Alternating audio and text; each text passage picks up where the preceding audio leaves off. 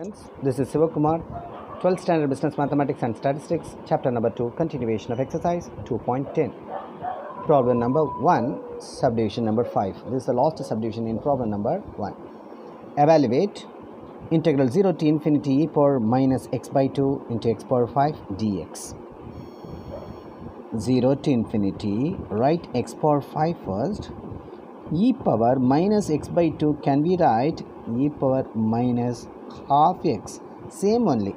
x into 1 x by 2 these two are same only. So definitely we have to apply the gamma integral.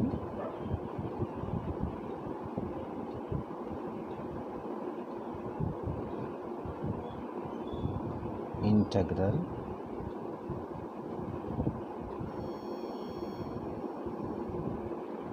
Integral 0 to infinity x power n e power minus ax dx equals factorial n divided by a power n plus 1 so compare these two. X power n this is x power 5 what is the value of n?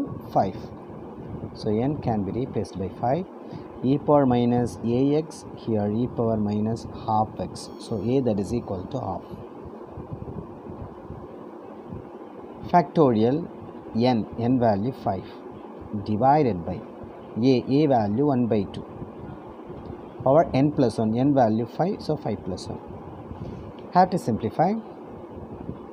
Factorial 5 that is equal to 5 into 4 into 3 into 2 into 1 stop at 1 divided by half whole power 6 that is equal to 5 fours are 20 23s are 60 62s are 120 120 into 1 is 120 divided by 1 power anything is always 1 divided by 2 power 6 equals 120 divided by 1 divided by 2 power 6 that is equal to 2 power 6 2 into 2 into 2 into 2 into 2 into 2 2 2s are 4 2s are 8 2s are 16 2s are 32 2s are 64 divided by 64 equals 120 this division becomes multiplication.